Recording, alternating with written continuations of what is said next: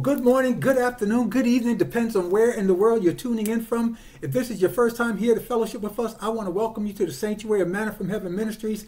I'm Overseer Michael Armstrong, and you're in the place right now where the Spirit of the Lord dwells. And we know where the Spirit of the Lord dwells, that means there is liberty. You can lift your hands, you can open your mouth, you can give God a shout of praise, you can say, Thank you, Jesus, hallelujah. Bless the name of the Lord. I will bless the Lord at all times, for his praise shall continually be in my mouth. Amen.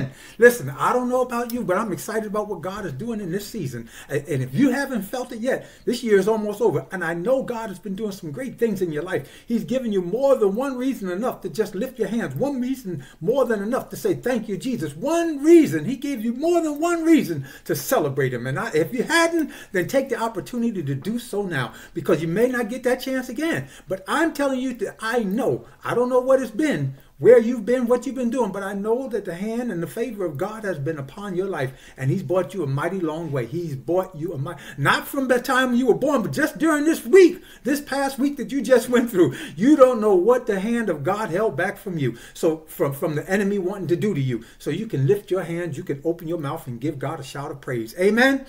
Amen. Now listen, if you've been here before, others are already doing it. They're tagging this message, they're sending it out, they're letting people know where they're coming in from, what part of the world they're tuning in from uh, right now to fellowship with us here at Manna from Heaven Ministries. So as you're doing so, if you want to do so, let somebody know where you're coming in from. As you can see, we have our family members that join us every week. Hallelujah. We thank God for you. They come in from South Africa, from, from the bottom part of South Africa, which is Cape Town. They come in from Cape Town. They come in from Johannesburg. They come in from Pretoria. They come in all the way up from Durban. We thank God for you. We thank God for Lusaka, Zambia. We thank God for them in, in Nairobi, Kenya, Mombasa, Kenya, in Uganda. Kampala, Uganda. We thank God that you thought not of yourself to come to fellowship with us here at Manna from Heaven Ministries. I know you could be doing something else with your time right now in uh, Accra, Ghana, in the Volta region of Ghana, but you thought not of yourself in uh, Gambia to come to fellowship with us here from Zimbabwe. We thank God for you. We thank God for our family members who find it not a robbery to join us from Ethiopia, from the Philippines, as far as Sydney, Australia, Brisbane, Australia. We thank God for you. And we didn't forget about you here in America where we are, in North America, all the way up uh, uh, from Canada, Toronto, Canada, all the way down here to uh, Florida, Orlando, Florida, where I am. Far east is New York City, far west is California. The island of Jamaica, we thank God for you. We thank God for our family members who join in. They come in from uh, Portland, Antonio. They come in from Portland. They come in from, um, excuse me, Johan, uh, uh, uh, Kingston, Jamaica, we thank God for you. We thank God. I know you could be doing something else with your time, but you thought not of yourself to fellowship with us. And I didn't. I hope you didn't hear uh, come in now to be bored by me. But I want to give you the word of God, and if that's what you came to hear today, the word of God, then you're not going to be disappointed. And as I said, if you're tagging this message, letting someone else know that Manna from Heaven Ministries is on live now, then this is the place to be. Do that and get back here because I'm going to open us up with a word of prayer, and I'm just going to let the Holy Spirit do what He does in this atmosphere let him have his way in this place, not just where I'm seated, but where you are also, because we serve an omnipresent God. Amen. And we know that his spirit is just moving. Hallelujah. Glory to God. So I thank you for just thinking not of yourself to fellowship with us here. Now, without any more delay, I want to open us up with a word of prayer. And again, we're just going to allow the, the Holy Spirit to have his way. Amen.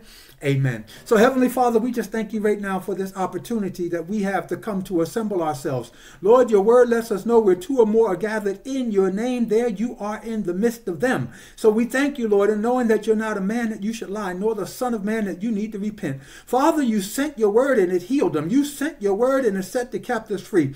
And when there's nothing else to stand on, Lord, we can stand on your word because your word is infallible and your word cannot come back to you until it accomplishes the thing that you sent it to do. We thank you right now, Father. We thank you that, that, that you've given us this opportunity to come, to lift our cares before you, to come to sit at, your, at the feet of your throne, O Lord, to sit at the foot of your altar, and to hear from heaven here today. And Father, it is my desire, Lord, my prayer, that as this word is going forward today, that someone will have a closer walk with you. It is my prayer, my desire that someone will be delivered, that someone will be set free, that someone will be healed in the name of of Jesus. And Father, I just bless you and I praise you and I thank you right now. I ask you, Lord, to allow me to decrease as you increase. Have your way in this vessel, Lord. Use me for your purpose. Use me for your glory. Use me right now, Father, that those who are assembled, even though they see this vessel, Lord, allow them to hear the voice of God through this vessel. May you be magnified. May you be glorified. May you be blessed right now in the name of Jesus. We thank you, Father, for being the air that we breathe. We thank you for being the water that we drink. We thank you, Lord, for being the bread of life that we live on. And we know that man doesn't live by bread alone, but by every word that comes from the mouth of God. We thank you, Father, for the Holy Spirit, which comes to remind us of the words of God and continues to draw us nearer to you. We thank you, Lord, for the blood that was shed that allows us to come into the presence of a holy God. For it had not been for the blood of Jesus, we could not come before a holy God. So we thank you, Lord. We thank you. And I pray right now that you will continue to be magnified throughout this service here today. May your name be forever lifted on high. May your children forever be blessed. And may you continue to have your way in this sanctuary, not just where I'm seated, but where your children have assembled from the north, the south, the east, and the west around this globe that you created.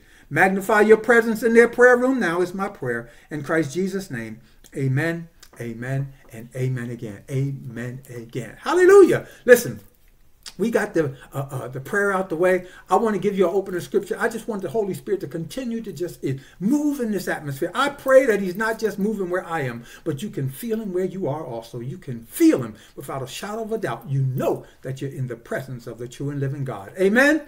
Amen. All right, listen. Our opening scripture is going to come from the book of Colossians. It's going to be chapter Colossians chapter 1 verses 25 through 27. I'm going to be reading to you from the New American Standard uh, Bible. Bible. It may sound different than the version that you would have before you, but we're going to get the results that God intended us to get. Now, I may deviate away from the, um, the New American Standard Bible as I give you different verses, version uh, of the of the text, but we're still going to get the results that God intends us to get. So you write these down, you keep them close to you. I hope you go back and you review your notes even after the service is over. I hope you go back and review your notes that, that this way you'll get a, a clearer walk with God, a clearer understanding. Amen. Amen. All right. So Colossians chapter 1 verse 25 through 27, New American Standard Bible and it reads, I was made a minister of this of this church according to the commission from God granted to me for your benefit, so that I might fully carry out the preaching of the word of God. That is the mystery which had been hidden from the past from past ages and generations, but now has been revealed to his saints, to whom God willed to make known what the wealth of the glory of this mystery among the Gentiles is the mystery that is Christ in you, the hope of glory. May the Lord add a blessing to the hearers, the readers, and the doers of his word. For his word is blessed, the children are blessed, and I'm just going to continue to minister this word unto the blessed children of God in Jesus' name. Amen. Amen. All right, now listen. If you've been with us throughout the past few weeks, uh, I've been ministering to you, speaking to you from the theme of the Holy Spirit. Uh, last time we were together, we were talking about uh, becoming one excuse me, becoming like Christ. And we know that the only way we can become like Christ is through the help of the Holy Spirit. So today I want to speak to you about from the theme of Christ in me. Christ in me. Now listen, as I said, I've been speaking to you about the Holy Spirit. And it's the Holy Spirit that allows us to know that Christ is in us. And we learned during the past few weeks that we've been speaking about the Holy Spirit, we've learned that the uh, primary job of the Holy Spirit is, is to make us or to help us to become like Christ. Amen? So, so he didn't come, the Holy Spirit. When I'm saying he, I want to let you know I'm talking about the Holy Spirit, the third person of the Trinity, who is under a male uh, uh, gender. Okay? All right. So he, talking about the Holy Spirit, he didn't come uh, uh, to make you uh, work in signs and wonders. Uh, uh, he didn't come to uh, make you to prophesy. Uh, he didn't come to make you speak in tongues. All right, let me just help some people because I know some people tell me they say overseer, uh, I, I, I, I believe that I was saved. I believe that I was born again, but I don't speak in tongues. And the Bible said that these are, uh, uh you know, uh, uh, people you knew they were saved because they demonstrated gifts of speaking in tongues.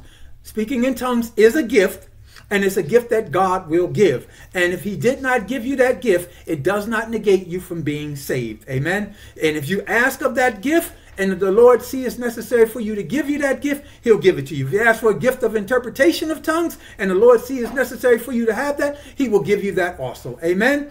Amen. So I don't want someone to feel left out thinking that you didn't have all that God said you were going to have.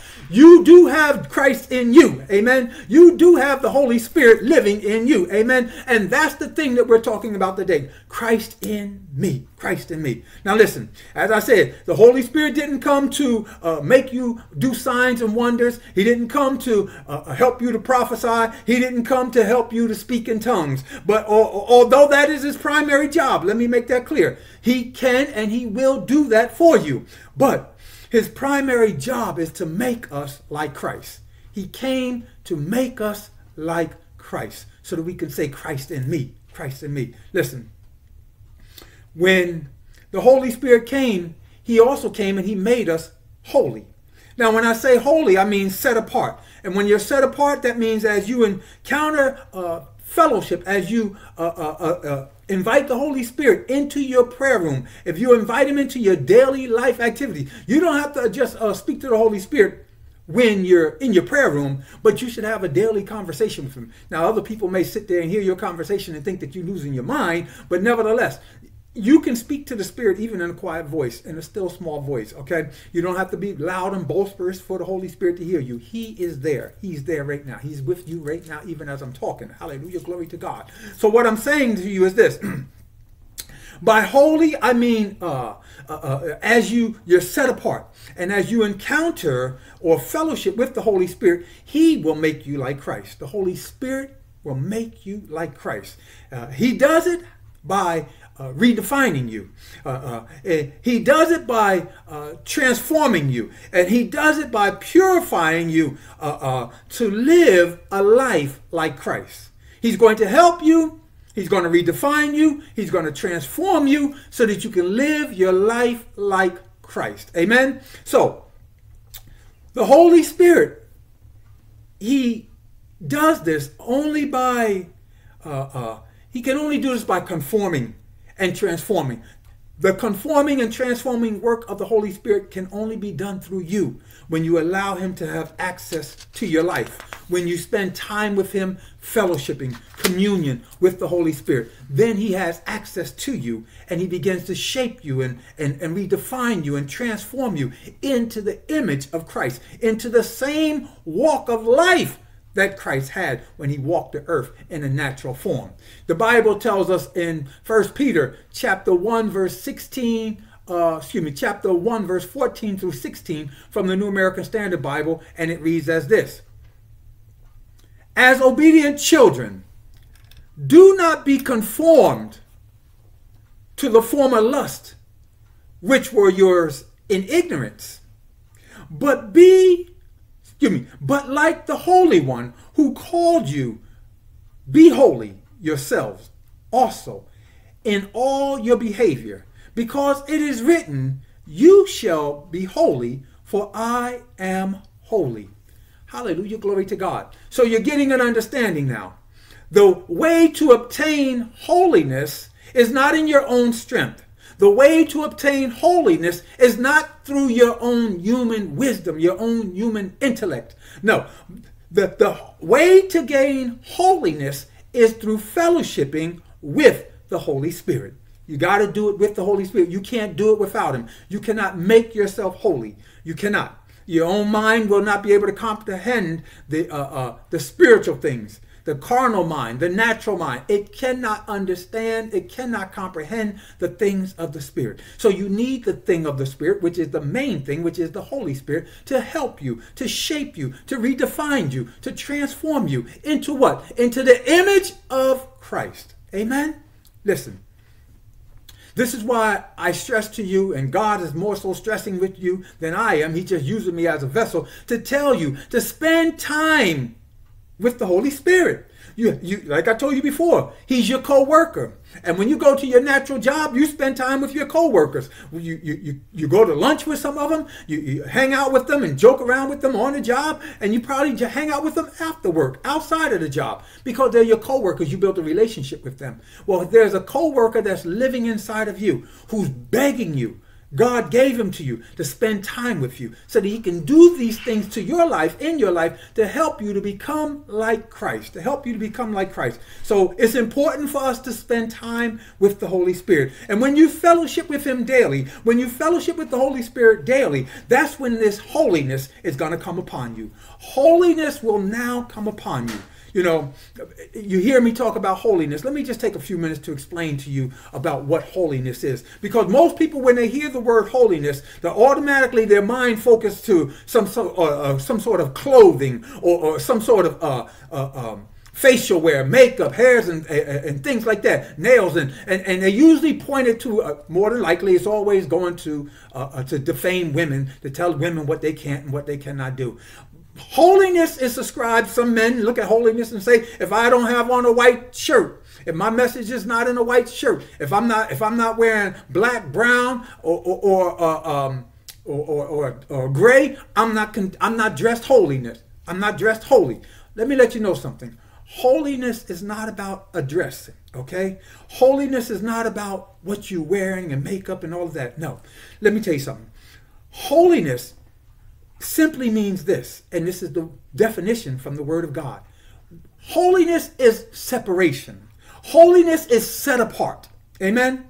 When you're separated from the world, God called us to come out of the world, be separate from the world, and come to Him. We are called out, the ecclesia. That's us. When you look over a doorway and it says exit, that's where we get the word exit from, from that word ecclesia, which means out. Exit means out. So we're called out. We're called out. We're called uh, out of the world uh, into holiness with God. Holiness is walking with God, and it's allowing Him, God, the Holy Spirit, it's allowing Him to have total access to every areas of our lives. This is the only way we can stay separated. Now, listen, we have jobs that we do, everything. You know, some people are so super spiritual that they're always caught up in the air. Oh, you can't get them to do anything on the ground because they're so heavenly minded that they're no earthly good. But even when we interact with those in the physical, we are still separated. You're, you're, you're not supposed to do everything that the world does. Amen. And when I'm saying that, listen, you can go to the restaurant and eat like the world does. All right. Let's, let's be real about the thing. Some people just take things so uh, super literal that they make it seem like that you can't do anything in Christ. This is why they don't want to be a Christian because they they they don't know what it's like. So therefore they judge by what they think, and therefore they separate themselves from all the things that God created. All things were created by Him for Him, and since you're in Christ in you, it's created for us. But we do things in moderation. Amen. We do things according to the holiness that is in us. That, that God ascribed to us when he called us out. All right, let me explain this to you like this. Listen, as I said, holiness is walking with God, and it's allowing Him to have total access to every area of our lives. Uh, um, First Peter, the one we read in the opening scripture, First Peter uh, 14, 16 from the New American Standard Bible, it says, Because it is written, You shall be holy, for I am holy. My brothers and sisters, allow me to share something with you. This is not the first time uh, uh, uh, uh, the Hebrews had heard that they were to be holy. This is not the first time that those who were Hebrew were told that they should be set apart for God. The Hebrews knew it, but you and I, the new converts, the Gentiles, we did not know this. So this is why Peter tells it to us in First Peter. He's not speaking to the Hebrews because they should have known that. He's telling you and I that listen, it is written, because it is written, you shall, Michael, shall be holy, for I, the Lord, am holy. What do you mean the Hebrews knew about it? The Hebrews knew because they had it in the Old Testament. You know, um, you got to remember Jesus. All right, let me explain. Let me let me help you out as we walk through the scriptures. Listen to this. John 1 and 1 from the New American Standard Bible, and it reads as such. In the beginning was the Word, and the Word was with God, and the Word was God. John 1 14, New American Standard Bible. And he reads, And the Word became flesh and dwelt among us, and we saw his glory as the only Son from the Father, full of grace and truth. Now, if you look at John 1 and 1 and you look at John 1:14, John was speaking about Jesus. He's given us a description about Jesus. He says, In the beginning was the Word, Jesus. He's saying that the Word was with God, Jesus. He's saying that the Word was God, Jesus. He's saying, And the Word became flesh and dwelt among us, Jesus. He's talking about Jesus. Amen. So now if we go back to the Old Testament and we look and we hear what Jesus tells Moses in the book of Leviticus, chapter uh, 19, verse 2 from the New American Standard Bible, and it reads this. He says, Speak to all the congregation of the sons of Israel and say to them, You shall be holy, for I, the Lord your God, am holy. My brothers and sisters, that makes it plain to us that the Hebrews of the Old Testament knew what we, the new converts of the Gentiles, did not know. First of all, we did not know that God was looking to have a relationship with the Israelites. We didn't know because we didn't have access to what we have access through now, which is the um, the Bible. You should have your own Bible in your home. You should have hopefully more than one or through your internet devices or whatever it is, you should have your electronic devices. You should have access to the Bible. There's no excuse for you to say, I don't have one. There's no excuse. The excuse was back then, we didn't have access because we weren't included when they went to the synagogue, when they came into the, the scribes, the Pharisees, they had the access to the word of God and they delivered it to the people as such. But the Bible lets us see here in the book of Leviticus that when God called a tent meeting, he, God, told um, Moses to tell the, uh, uh, uh, he said, this is the relationship that I want to have with the Israelites. And he told Moses to go and give them these instructions to the entire community of Israel. Go and tell them. He says, You must be holy because I, the Lord your God, am holy. Listen, when I, I, I, tell you about Jesus, because you got to remember now, and I just gave you those scriptures, you're saying, well, God was speaking to them. It wasn't Jesus. Jesus wasn't there. In the beginning was the Word, Jesus. All right? The word was with God. So when God called Moses to the meeting, it was Jesus. Amen. And Jesus was always telling them what? That the word was God. So when they had the word, Jesus is uh, speaking to them there. And he spoke to them when he walked the earth. He's telling them, he says, listen, I just want a fellowship with you. I just want you to be holy. Be like I am. But they had so many problems, the scribes and the Pharisees, becoming like Christ. They couldn't do it. They saw Jesus as a, a blasphemer. They saw Jesus in league with Satan. They saw Jesus as a wine bibber. They said he hung out with, with all the undesirables of the day. They could not see themselves being like Jesus, who was and is holy. So now it's given unto you and I. That same text is given to us. Uh, uh, we can go and look at it from Leviticus from the Old Testament, but it just mirrors what we heard in the New Testament. From what? From Peter. Peter's telling us what? That you shall be holy, for I, the Lord your God, am holy. God doesn't deviate from his word. He doesn't deviate. And this is what he expects us to do. God was calling his people into a relationship with him. Jesus wanted to fellowship with those when he walked the earth. He never discouraged anybody, even the Pharisees. He never told them, get away from me. He never told them, I, I, I don't want to have nothing to do with you, even though he knew that they were wrong as two left shoes on their feet. But he always wants, God always wants to have a fellowship with us. And he calls us holy. He calls us out of the world that we may a, a, walk alongside him that we may be as he is. We've already heard heard these teachings. Uh, Jesus and the Father are one, and we are one with them. We've already heard that. So now we're understanding in order for Christ to be in me, Christ in me, I have to be like Christ was. I have to be holy. I have to be holy. For the Lord your God is holy. I have to be holy. I have to be like him. I, I haven't arrived. I'm on my way. I'm on my way. So, so, so how does this happen? Jesus came to when he was came to the earth, he came to bring us back into the right relationship with the Father. One a right relationship, one that was considered to be holy. He wanted us to be holy before God. Before God. Listen. if you have any understanding about the uh, Old Testament, when the uh, scribes, when the Pharisees, when they went into the holies of holies to meet with God, they had to make sure their self was right. They couldn't just walk in any kind of way. They had to make sure they were holy. There was a purification process that they went through.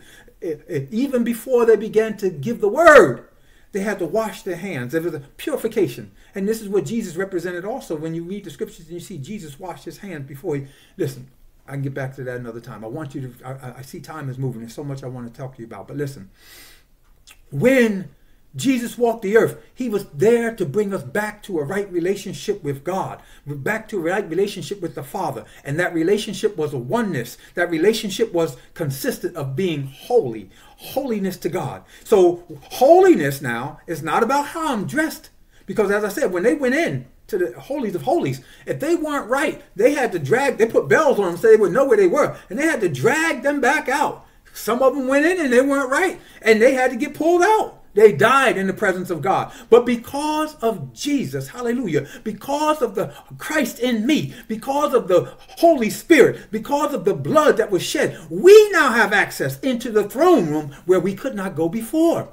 And God will only, you can only have that audience with God because he sees you as holy. He sees you. You don't have to worry about getting into the presence of God and dropping dead because some of us would be, maybe not you. Some of us would be. I would be because I know that I'm not there. I, I, I, haven't arrived. But I can come boldly into the throne room of grace and into God's throne room because of what Jesus has done for me, because of the blood that covers me. I have to come past that blood. I have to come through that blood in order for me to get into God's presence. Other than that, it ain't going to happen. It ain't. So we thank God because of this now. We're on the road to holiness. To, to uh, Christ in me means that the holiness of Christ must be in me. It must be in me. Now listen, when I'm saying holiness, when we are so close to the Holy Spirit. Holiness, be, uh, uh, we begin because of the holiness, because walking and with the Holy Spirit, we begin to uh, reflect our image now begins to reflect that of Christ. This is what God wants to see in you and I. He wants to see Christ in you. He wants to see it. Uh, holiness is being so close to the Holy Spirit that you begin to reflect your your your facade begins to look like Christ. When you're in a close relationship with the Holy Spirit, you begin to act like Jesus. When you're in a close relationship with the Holy Spirit, not only do you begin to act like Jesus, but I'm saying acting because you begin to forgive like Jesus. And there's some people who holding on to things that happened from the time when you was a child on the playground, but you've never let that go. But when you allow yourself to be to allow the Holy Spirit to come now to transform you, to conform you into the image of Christ, you will start to look to say that those things that bother you really don't bother you anymore. And you should put those things down. Leave that child school stuff back back there on the playground because you become now to look like Christ. You become now to sound like Christ. You can forgive like Christ and you can pray like Christ. This is what is going to happen because you become now Christ in me. He's in me. And if he's in me, then I have to pick up his attributes. I have to carry myself as though Christ is living in me. That means sometimes you can't hear all the conversations that's going on around. It may be funny to them, but they haven't been uh, called out. They haven't been separated to God. They think their holiness is in their fashion. But you're getting an understanding now about what true holiness is. True holiness is to be separated out of the world and jointly connected to Christ, to God. Listen, when you're in a close relationship with Christ, you're going to sound like him. You're going to look like him. You're going to walk like him. You're going to you're going to reflect everything that Christ did. And the Bible tells us this. It says, "And the word became flesh and dwelt among them, and we saw his glory as the glory of the only son from the Father, full of grace and truth." Well, guess what? When Jesus walked the earth, uh, uh, the fullness, all divinity was found in him. And that same thing should be found in you and I also. We should be walking the earth full of grace, full of truth. Why, why, why do you have to lie? What are you lying about? Why? you should be full of grace. God is giving grace to you, and you're supposed to also show grace to others. God has forgiven you, so you should also forgive others. You, you, you, are catching it now. This is this is what the Word of God does. He corrects us. He helps us to see what it is that He wants us to be, not what we want to be. And if you're saying I'm with Christ, then you're going to be like Christ. Christ in me, Christ in me. Because why? Because when Jesus walked the earth, he was fully God and fully man, walking in a man's body. And the flesh that he created, he was wearing it. Fully God, yet fully man. And, and guess what? Here's the good news. That same God, that same Christ is now in you. Christ in you, the hope of glory. The hope of glory. Listen, it was God who was working in Jesus. It was God who was working in Jesus when Jesus walked the streets of Jerusalem. When Jesus was doing all those mighty miracles that he did, he said, I'm not doing them on my own, but it's my Father. It's the Father. It's the will of the Father for me to do. It's the will of the Father for me to say. He didn't do anything of his own accord. And what did he tell us also about the Holy Spirit? The Holy Spirit will not teach you. He will not give you anything of his own accord.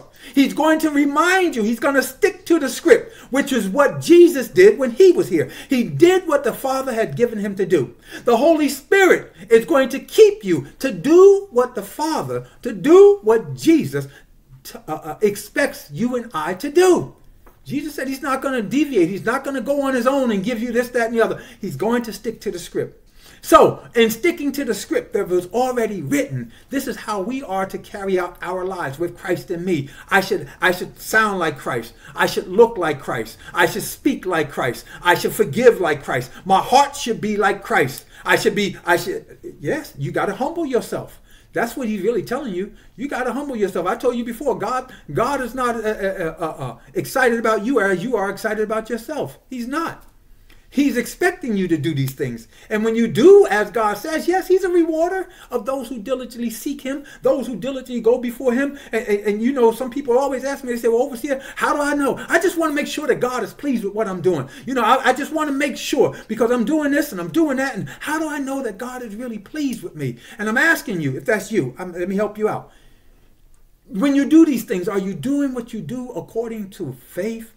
If you're moving by faith, the Bible tells us that God is pleased with you. He said that without faith, it's impossible to please God. And your life is built on faith. And everything that you do, you're doing it in a faith walk, then God is pleased with you. He is pleased with you. Amen? So you don't have to worry about whether or not you're too good, you're not that. You're... Listen, just do what God asked you to do. And, and, and He's the one who's going to elevate you. He's the one that's going to correct you. He's the one, the Holy Spirit in you, in you, Christ in you, in you. Listen, I told you, when Jesus said he was walking the earth, when he did everything that Jesus did, he did it when he walked the streets of Jerusalem. All the miracles he did, he did it because of the Father. The Father gave him access to do it. And it's the same with you and I. Having received the Holy Spirit, Christ now lives in you. And guess what? Not only does Christ live in you, but you become the temple. You become the place where the living God dwells. He dwells in you, not uh, uh, the building that we go to to worship where we all come together for our corporate worship. No, God is dwelling in a building not made by man's hands. Man's hands didn't make this, didn't make yours. God does. And God dwells in that temple, in that temple. Listen, when when you're getting an understanding of that now you're getting an understanding having received the holy spirit we have been called out of the world we're separated we're the ecclesia we are the uh, uh, the holy ones consecrated set apart we are the holy ones. We've been called out of the world. We've been called out of darkness. And we're free from bondage and we're free from idol worshiping like the world. You're free from all of that because God called us out. He separated us. He, God, classifies us. He makes us holy. Amen? Listen, not only is Christ dwelling within us, but the Bible makes it plain to us that we become the temple. Christ now is dwelling in me, Christ in me, and he lives in me. He has a temple established in me. And if you say that he lives in you, then he has a temple in you. What are you saying, overseer? I've never realized that. I never understood that. Well, let me read the scripture to you. Listen to this. Second Corinthians chapter 6, verse 16 from the New American Standard Bible, and it reads as such. Or what agreement does the temple of God have with idols? For we are the temple of the living God, just as God said, I dwell among them and walk among them, and I will be their God, and they shall be my people. Hallelujah. Glory to God.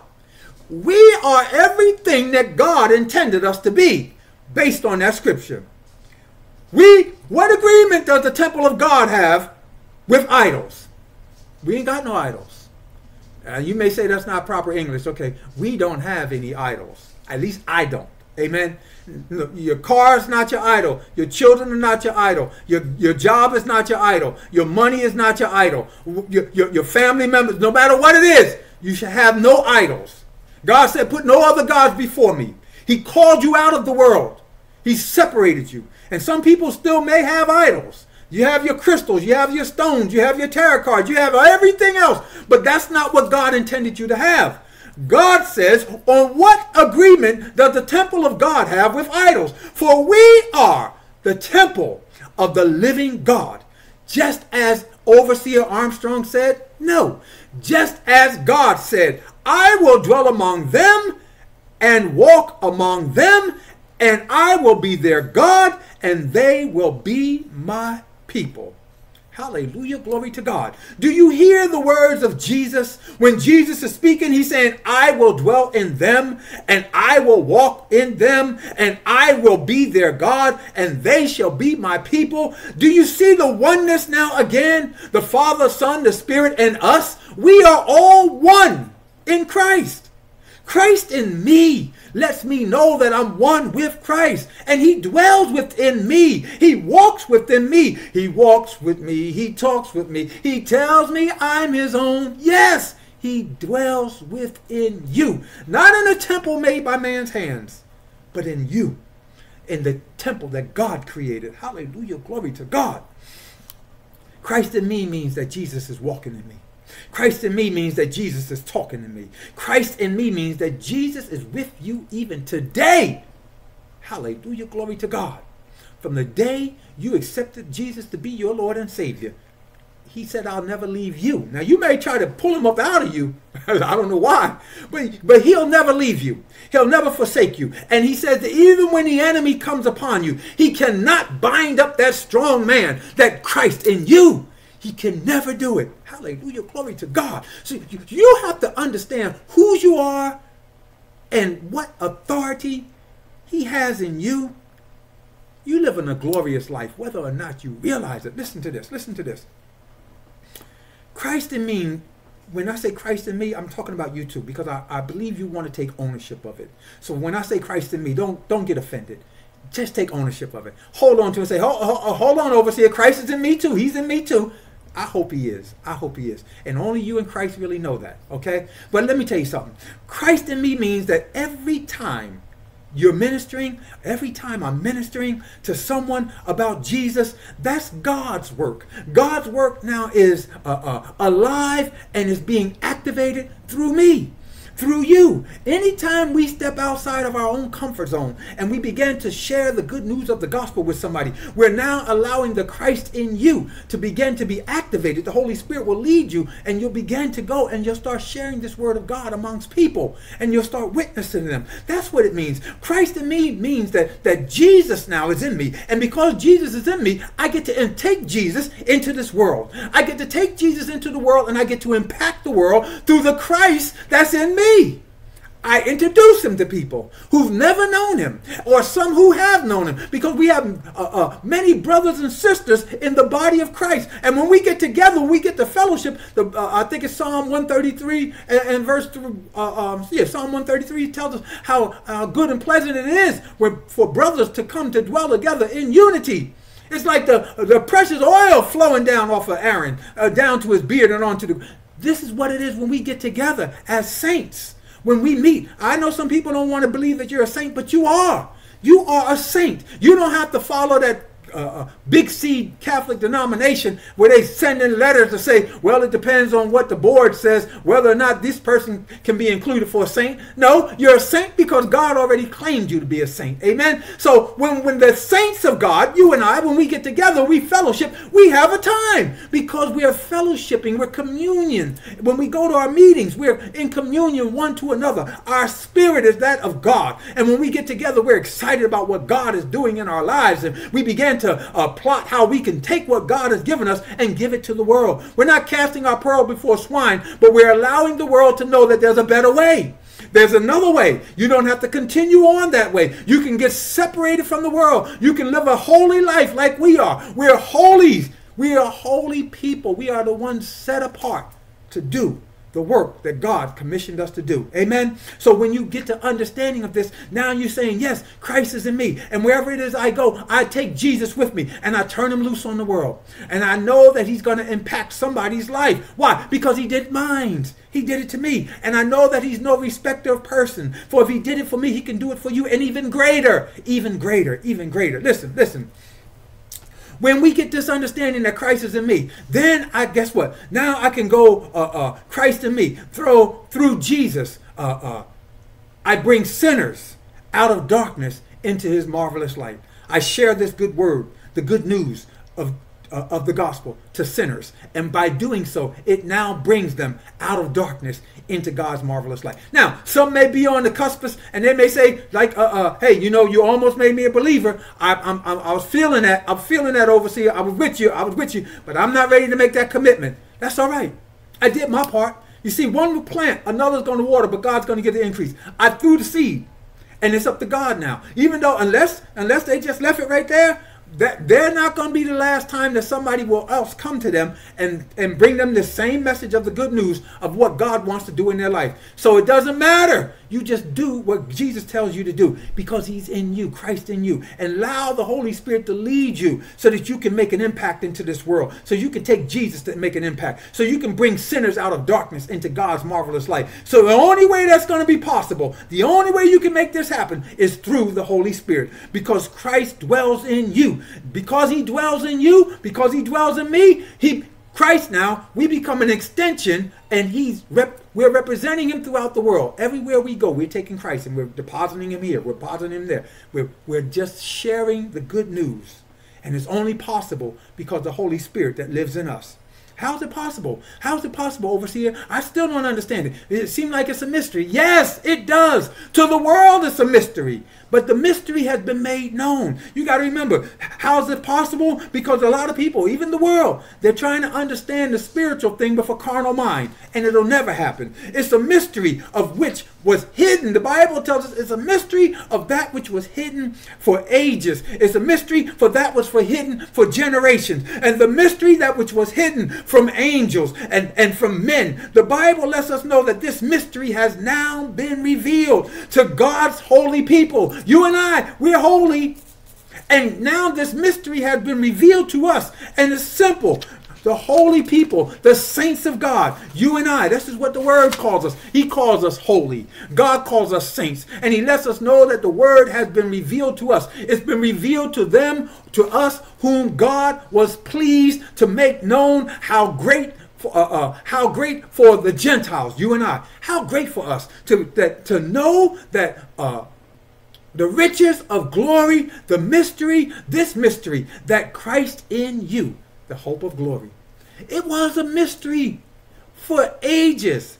It was a mystery for generations. It was a mystery even to the angels because they did not know what they did not know how great it was that God had this thing already set up from the beginning of the foundation for the Gentiles, you and I, to be included in his plan of eternal life. This is the, the, the, the, the, the plan. The, the, the, the Gentiles were going to be included in the riches of the glory of this great mystery. What is the mystery? The mystery is Christ in you, the hope of glory. Hallelujah. Glory to God. Christ in you means eternal life. Not when you're stretched out in that casket before your church friends or whatever it may be, however you choose to go. But you have eternal life as of this very moment. From the moment you said yes you received eternal life. In reality, now that you have your boarding pass, your name is written in the Lamb's Book of Life. When you pass through this life, you don't spend a life of damnation separated from God because God has already separated you from the world. So you'll spend your eternity, eternal life in the presence of God the Father, in the presence of Jesus the Son, and the Holy Spirit will just, uh, I'm believing that He's just going to be right there in the midst of it all. Hallelujah. Glory to God. So you don't have to worry about that. Eternal life means uh, uh, uh, life, your natural life is over. You'll spend eternity, your eternal life in God's presence, in the presence of God. You know, First John chapter 5, verse 13 from the New American Standard Bible, and it reads like this. These things I have written to you, who believe in the name of the Son of God, so that you may know that you have eternal life. Hallelujah. Glory to God. Hallelujah. Glory to God. Listen to that. These things were written. What things? The Word of God. You have this Word written to you. These things out of the Word of God were written to you, written to I, written to us who believe. Believe what? These things were written to those who believe in the name of the Son of God, who is what? Jesus. Everything points back to Jesus. You can't get away from him. And I hope you don't want to. I really do. But if you do, that's up to you. There's been others who just said, no, I can't handle this Christianity walk. And they decided that, hey, this ain't for me. Well, we already know you, you, you, you the one that blot your name out the book of the Lamb's life. But let me let you know something. The Bible lets us know that these things were written to those who believe in the name of the Son of God. That name is Jesus. Those who believe in Jesus, those who believe in the name of Jesus, they have, we have eternal life. We have it.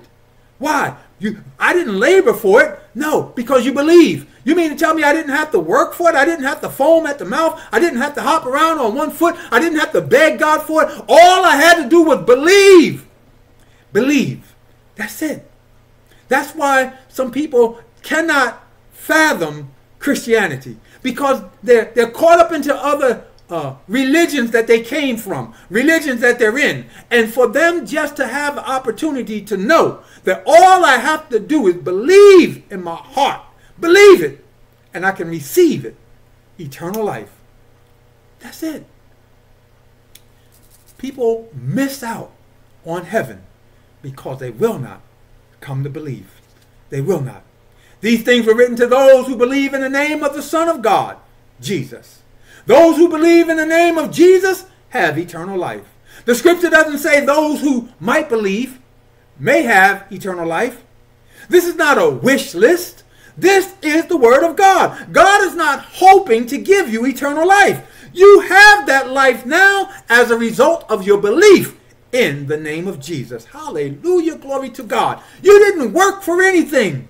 You have it because of your belief in the name of Jesus.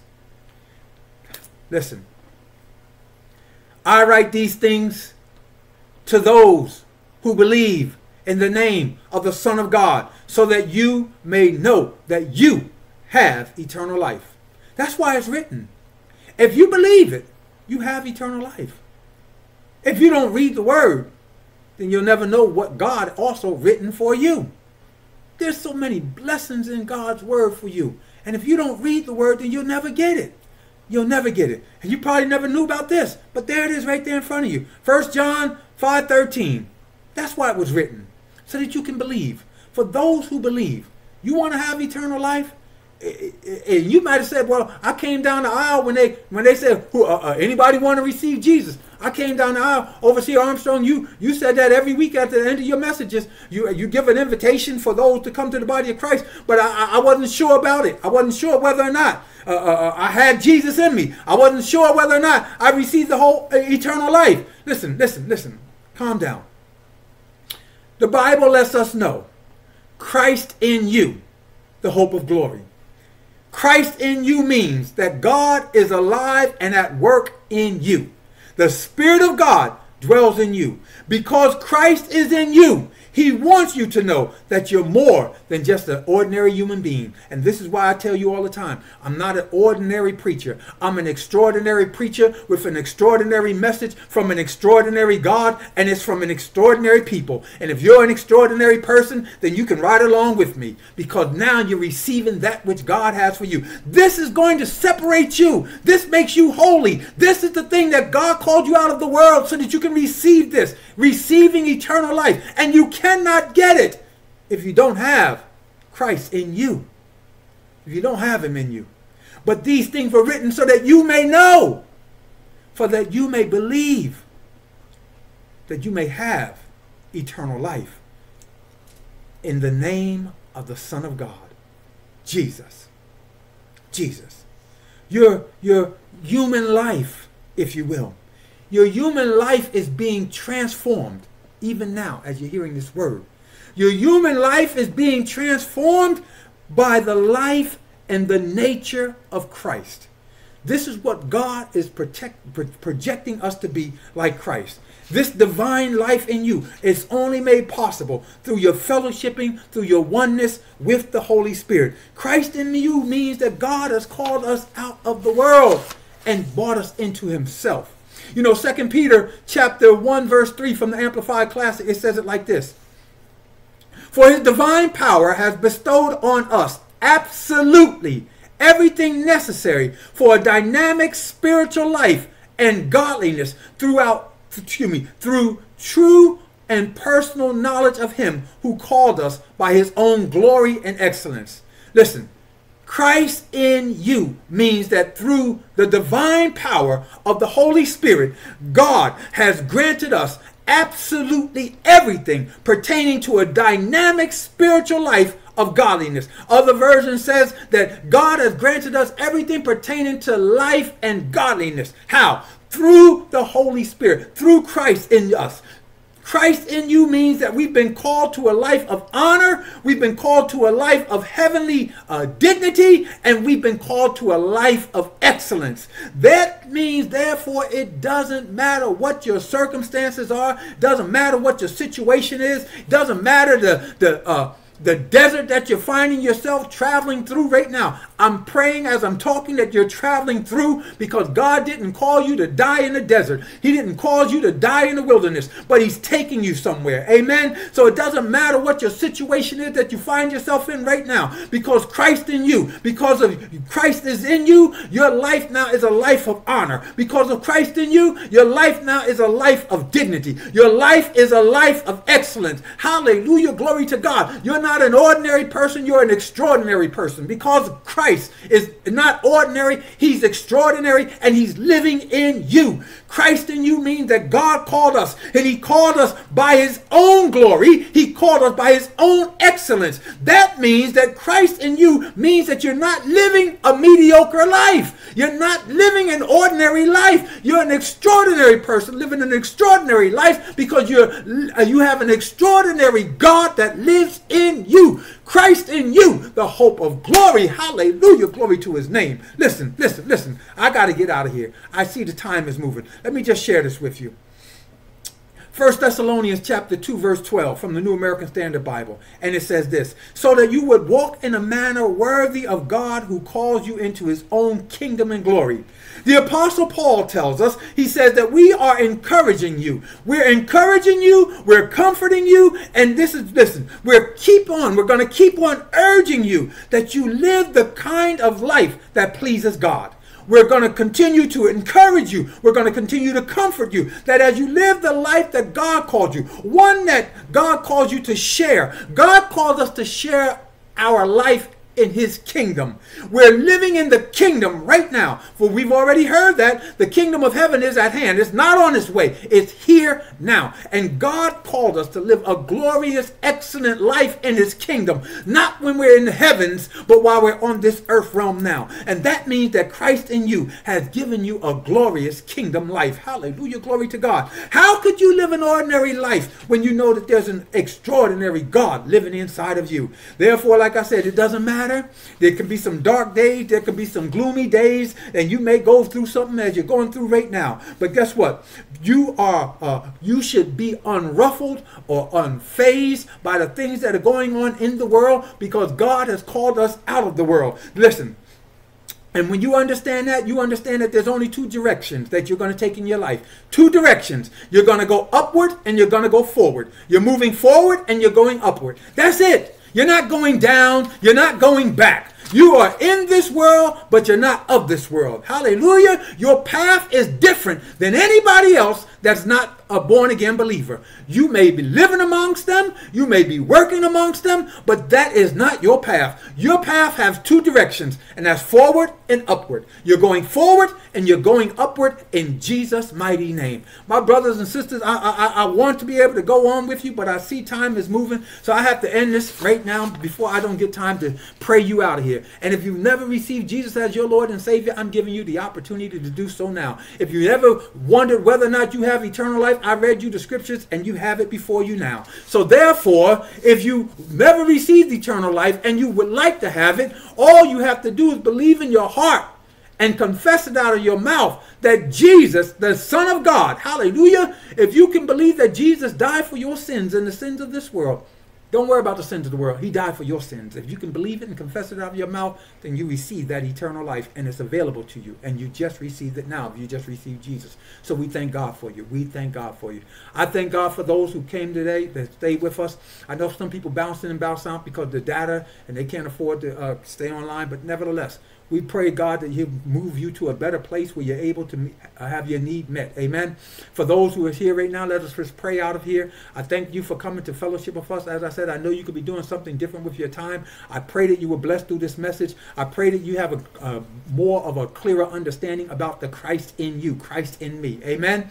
Amen. Heavenly Father, I thank you for those right now who came, who assembled themselves. Father, I pray right now that you will help them to stir up the gift that's within inside of them, Lord, that they may see themselves themselves as more than conquerors, that they may see themselves as they look in the mirror and see Christ in them, the hope of glory. Father, that they may see themselves doing even greater works than Christ has done when he's walked this earth. Father, continue to touch them, Lord. Allow the Holy Spirit to stir them up uh, from the inside outward, Lord, that everywhere they go, they may know that Christ is with them and help them to take Christ into this dying world, to allow this dying world to know that there's a Savior who doesn't want them to die in their sins, but he's called them out of darkness into, their, into his marvelous marvelous light, and his name is Jesus. For Father, I'm asking that you will bless, cover, and keep these now. In Christ Jesus' name, amen, amen, and amen again. Amen again. Again, I thank you for coming to fellowship with us. I pray that you will bless through this message. Share this message. Tell somebody else what Manna from Heaven Ministry is doing. If you're being blessed through this message, then share somebody. Let them know because they also should be receiving this blessing too. I thank you. And as you go through the rest of this week, as you go through the rest of this month, as we go through the rest of this year, don't you forget to make time for God because God has already made time for you. Amen. Amen. If you're being blessed by the words from Manna from Heaven Ministries and would like to give a donation, please give to the following links. Thank you, and may God richly bless you.